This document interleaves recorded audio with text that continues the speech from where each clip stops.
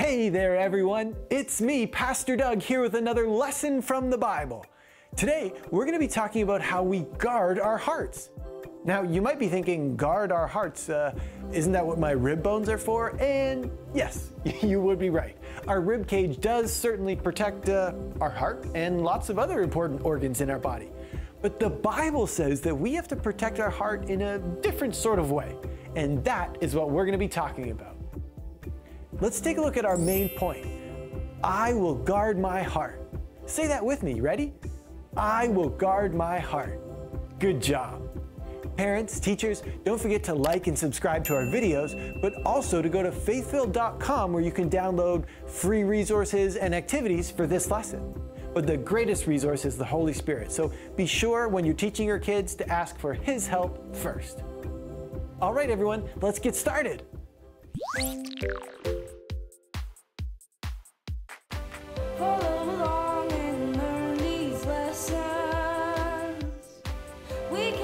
So much from our friend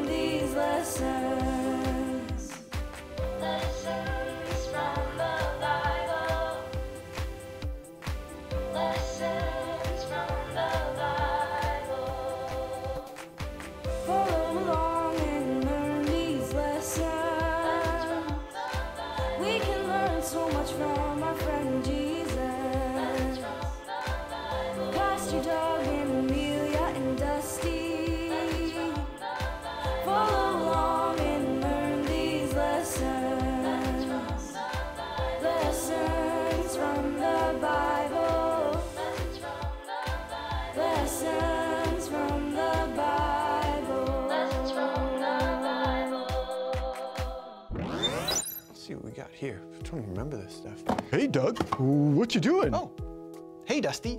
Yeah, I'm just putting all this stuff in the box. You see, the church is trying to raise money for a new roof, so they're having a rummage sale. Everyone's going through their old things to donate. Oh, I see. And the things that they give will be sold to help pay for the church roof, huh? Oh, that's a good idea. Yeah, I thought so too. Can you pass me that toy?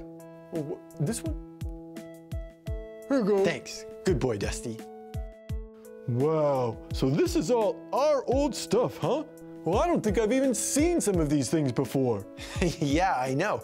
Can you believe it? This was all just sitting in storage. It makes me feel good that it's finally going to be put to some, you know, good use. Hey, you know what? There's still a whole nother section of the garage that I haven't cleaned out yet, so why don't I leave this box to you and I'll go work on another one. Stuff in the box, got it. Stuff in the box, stuff in the box. Huh? What do we have here? It is. It is. Oh.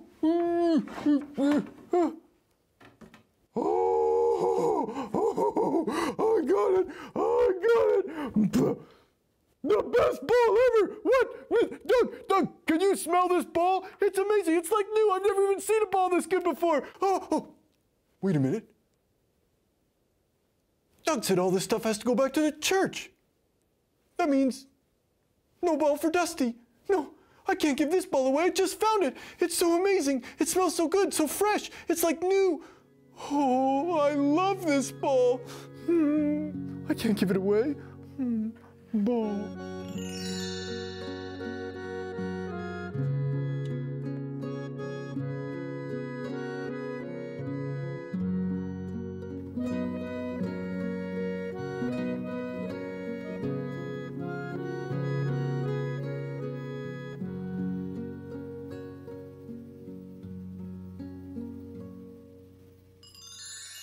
Oh, my precious ball. Okay, Dusty, finished with my box, so uh, it's time to take all this stuff to the church now. Grr, grr, grr. Whoa, Dusty, what's gotten into you?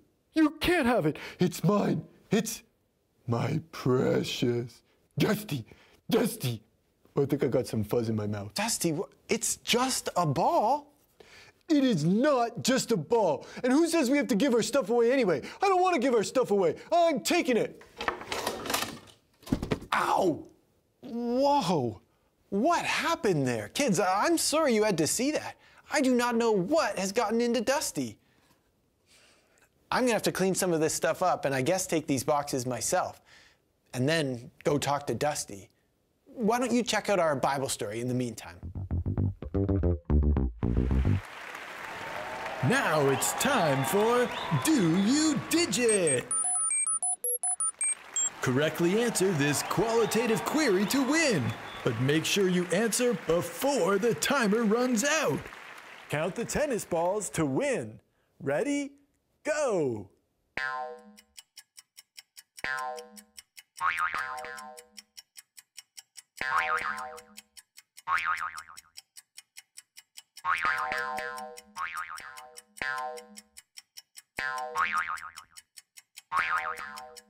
If you said 14, you're correct. Now let's get back to the show. Oh no, he's too strong. oh, hi there. Do you know anyone who's really strong? In the Bible, there's someone by the name of Samson who was incredibly strong. He was blessed with super strength from the Holy Spirit. You can read this story in the book of Judges, chapters 13 to 16. You see, many years had passed since the Israelites were living in the Promised Land. And things were going so well that they eventually forgot about God and started worshiping other gods and other idols, just like the nations around them. So God handed them over to their enemies, in this case, the Philistines. The Philistines were strong and had a good army. They were able to capture Israel, all the things that they had food, money, even their homes. Haha, give us all your money. Yeah, give us their homes too. Out of the way. Get over here and help me with this roof. Well, the people of Israel were in big trouble. So they prayed and cried out to God to help them. Oh, I'm so poor. I'm so hungry. They took my house. Where am I going to sleep? God, help us. There is. I forgot my apple. Grr. Well, God heard their prayers and He came to their rescue. He had mercy on them. This is Manoah, and this is his wife. One night, an angel came to Manoah and his wife and said, Even though you have been unable to have children, you will soon become pregnant and give birth to a son. If your son lives a holy life, he will have God's strength. Soon after, Manoah's wife gave birth to a son and named him Samson. The Spirit was upon Samson to make him so strong. In fact, he didn't need an army or anyone else's help to save Israel from the Philistines. He did it all with the strength of the Spirit. How did you get so strong? He's so big and scary. I can't stand Samson. Oh, oh no. They needed to figure out the secret of Samson's strength. Well, one day, Samson fell in love with a woman named Delilah. Oh, Delilah, I bet you'd never betray me. You seem a bit sleepy. Why don't you have a nap? And when the Philistines heard about it, they contacted Delilah and met with her in secret. And they promised to give her lots of money if she could trick Samson into explaining the secret of his strength. Where is she? I thought you said she was coming. She is coming. Oh, here she is. Yes, you called for me? Right, take this money. Find the secret of Samson's strength for us. I'm gonna be so rich. Well, Delilah begged Samson to tell her the secret. Samson, oh, Samson, just out of curiosity, what's the secret of your strength? Oh, not this again. Tell me, tell me. I'm gonna hold my breath until you tell me. Okay. Do you love me? Tell me, tell me, tell me, tell me, tell me. tell After me, tell me, tell days, me. Samson couldn't take it. Okay, fine. I must never cut my hair. Cut your hair, huh? How about another little nap? I think I have some scissors around here somewhere. Now, that night, as Samson slept, Delilah snuck up and cut his hair. Then she called the Philistines over to capture him. Come in. His strength is gone. Go ahead. We got him this time. Hey, Dad, take this. Hey, what? Where'd my strength go? He was too weak to resist because he had broken his promise. What have I done? The Philistines brought Samson out before a great crowd of rulers, and thousands of people gathered at the temple in Philistine to watch as they wrapped Samson up. Where did it get in there? We got it now, boys. But Samson prayed one more time. Lord, give me this strength just one more time. And he pushed with all of his might until he brought down the entire temple, destroying everyone who was there, including himself. Samson was not guarding his heart. He thought that he could continually sin without any consequence. And Delilah eventually took advantage of that.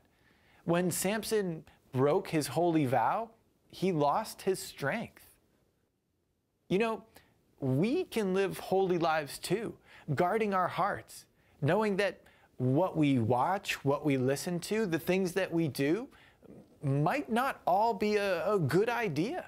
In fact, we can be letting things in that are going to take us down the wrong path, lead us away from God's blessing. So, obey God. Do your best to follow His ways and know that God will be with you. It's time to play Picture Pixel Puzzle. Guess the picture before it comes into focus to win. 10 seconds on the clock. Go!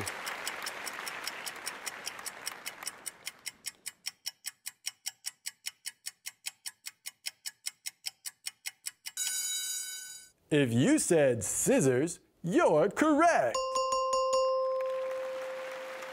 This is an ancient pair of scissors, perhaps similar to what Delilah would have used to cut Samson's long hair. Good job, everyone. Now let's get back to the lesson.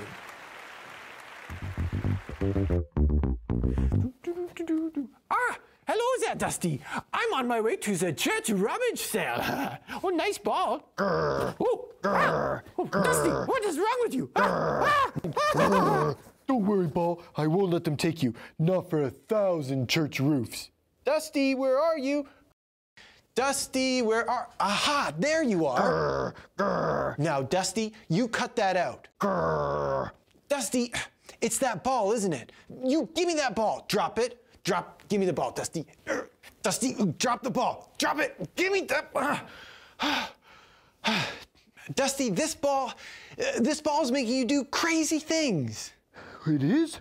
Like what? Like what? Like, uh, how about knocking over all the things for the rummage sale? Uh, how about running away? How about growling at people? I. I growled at people? Yeah, you did. Oh, I barely even remember doing that. I think.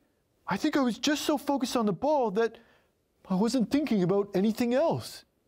You know, Dusty, your actions were wrong. There's no doubt about that. But it's not just that, it's that I'm concerned for you. Is this ball so important that you would forget about your, your loyalty, your friendship?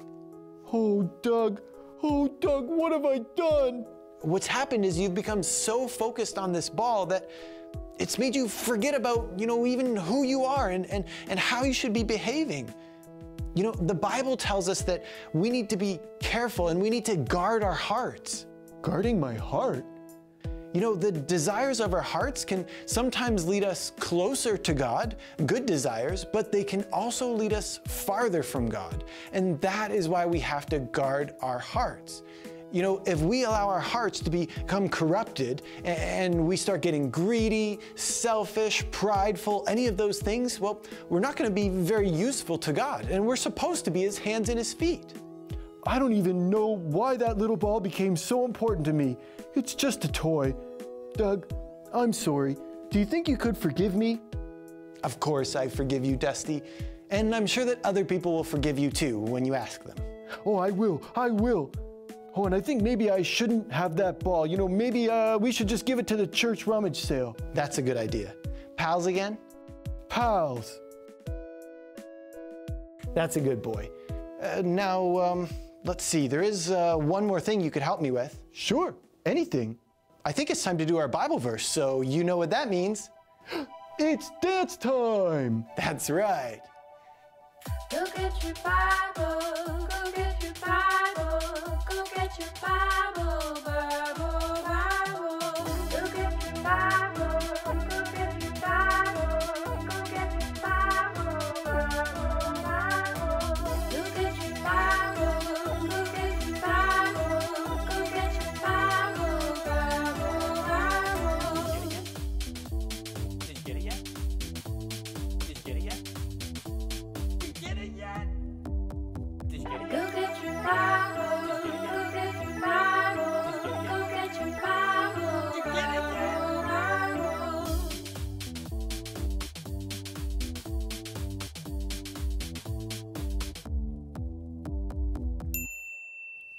okay, take it away, Dusty.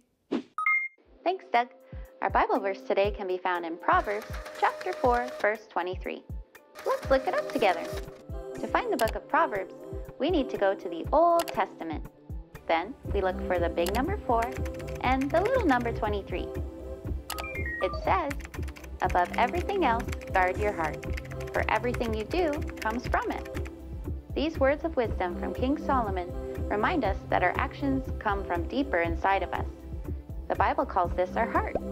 If we keep our heart pure, focused on what is good, noble, right, and godly, then our actions will be pure. But if we allow our heart to be led astray, we will make poor choices and our actions will hurt ourselves and others. Let's be careful to guard our hearts. The best way to do this is to follow Jesus. When we make a mistake, we can ask Jesus to forgive us. We can ask Jesus to give us a clean heart that follows him. I've decided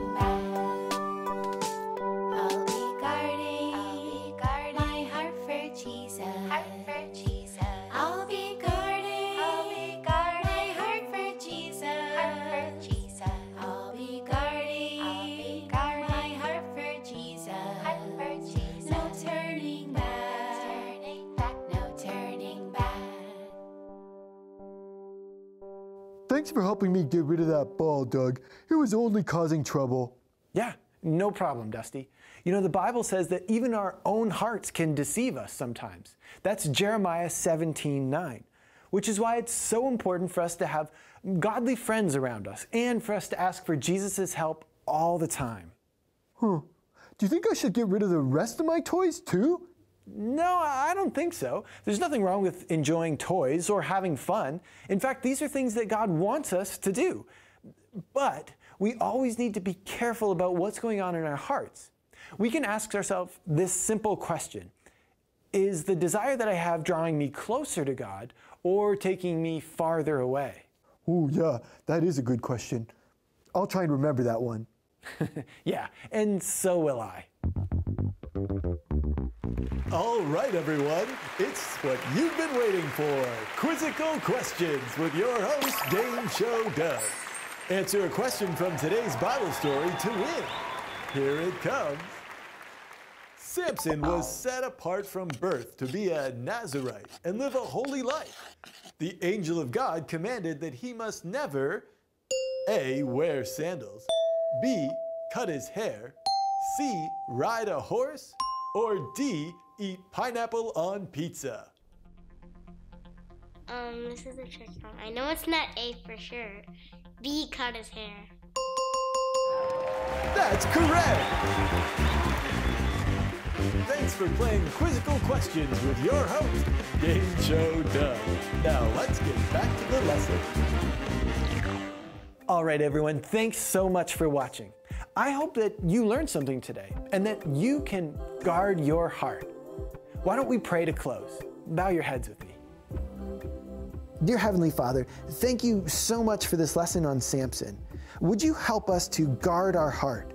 Jesus, help us every day to ask this question Are our desires bringing us closer or further from you? We pray these things in Jesus' name, and everyone said, Amen. Thanks again, and we'll see you next time. Bye bye.